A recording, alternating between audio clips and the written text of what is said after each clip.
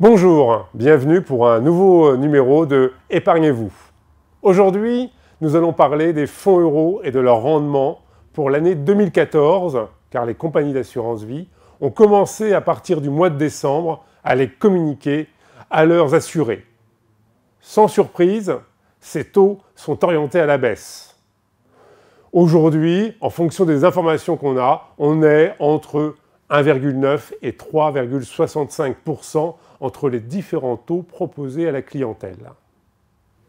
Cette baisse est en fait la traduction de la diminution des taux d'intérêt sur les obligations d'État intervenues au cours de l'année 2014, car les fonds euros sont composés en partie de ces, fameux, euh, de ces fameuses obligations d'État.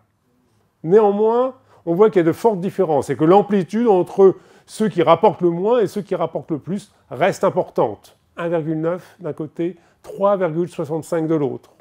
Donc, il faut bien regarder la composition et puis la rémunération de son fonds euro avant de souscrire une assurance vie ou le cas échéant pour changer de contrat d'assurance vie ou pour en ouvrir un nouveau. Donc là, il y a une vraie différence de traitement des assurés en fonction des produits, en fonction des compagnies. Il faut faire donc très attention à ce fameux fonds euro. Est-ce que l'assurance vie et les fonds euros sont intéressants malgré leur baisse en termes de rendement? Oui, car le fonds euro bénéficie d'une garantie de capital et ça n'a pas de prix. Et les Français d'ailleurs plébiscitent cette fameuse garantie de capital. Et puis, malgré la baisse, le fonds euro a un rendement bien supérieur, par exemple au livret A ou à bien d'autres produits euh, financiers ou immobiliers. En effet, l'assurance vie bénéficie toujours d'un régime fiscal attractif. Au bout de 8 ans, le taux de prélèvement est de 7,5%, après prise en compte des prélèvements sociaux de 15,5%. Net d'impôts, on arrive globalement à un rendement qui tourne autour de 2% en moyenne, ce qui est deux fois celui du livret A.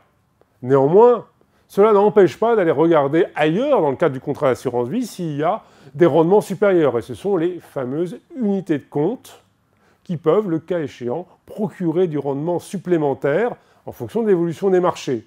Et on estime que ces unités de compte peuvent apporter un rendement entre 6 et 8% ce qui n'est pas négligeable.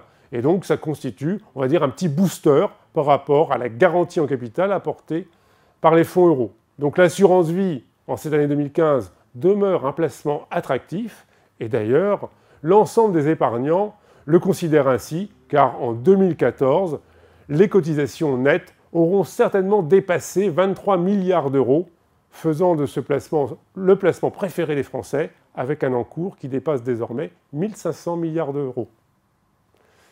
Je vous remercie, au revoir et à très bientôt pour un prochain numéro d'Épargnez-vous.